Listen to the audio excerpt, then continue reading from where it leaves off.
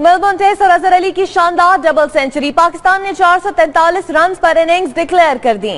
जी हाँ सद शफीक ने 50 मोहम्मद आमिर ने उनतीस, बाबर आज़म ने तेईस रन बनाए। सोहेल खान के चार छक्के भी शामिल। पैंसठ गेंदों पर पैंसठ रन बनाकर रन आउट हुए। यूनिस खान उन्नीस, मिसबाउल हक ग्यारह, सरफराज अहमद दस जबकि वहाब रियाज एक रन बना सके। अजहर अली ऑस्ट्रेलिया में सबसे बड़ी इंफरादी इनिंग्स खेलने वाले पाकिस्तानी खिलाड़ी भी बन गए हैं। माजिद खान ने 1972 में इसी ग्राउंड में एक रन की इनिंग्स खेली थी।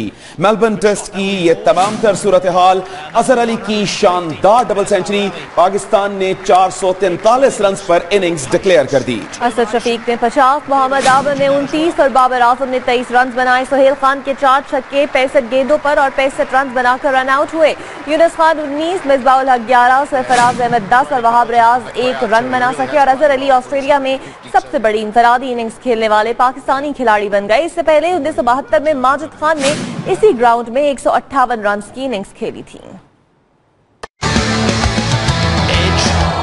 Oh.